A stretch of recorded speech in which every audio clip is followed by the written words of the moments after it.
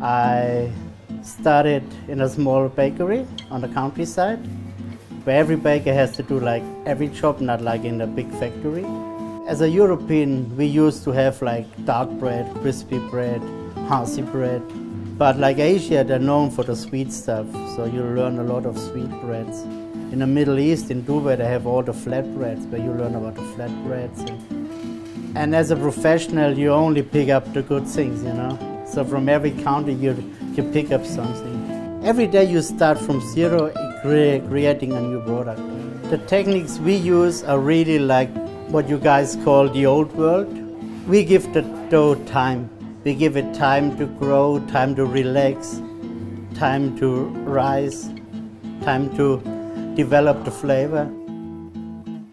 When you bake a bread, you need certain enzymes to get another result. As a baker, I'm the enzyme on the table that connects with the food like the people together. So that's why it's important that I always keep it on a high level, always a good result, and then that everybody's happy around the table. I'm addicted to music the same way I'm addicted to good bread, you know. So, and then I just realized that there is something in common, you know. If you listen to the radio, you have these songs. They are good, you know, but maybe two days or two weeks later you can't remember.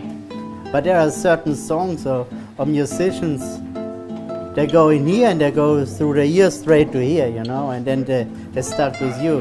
And you can have the same experience with food. It's just the experience, the taste, the flavor. And you also see the passion that uh, people put therein, you know. If I'm talking about a generation of my grandmother, who was born in 96, even before the World War One, it was like that every farmer or every family on the on the countryside they had their own they had their own little oven in in the backyard where they used to bake like once a week. And I remember that my grandmother she always told the story that her neighbor she was older than than her and her husband came over and said, Yeah, you have to teach my wife how to bake bread. And she felt embarrassed because you can't teach the older person and so my grandmother always said, ah, it's just the oven, it's just the oven.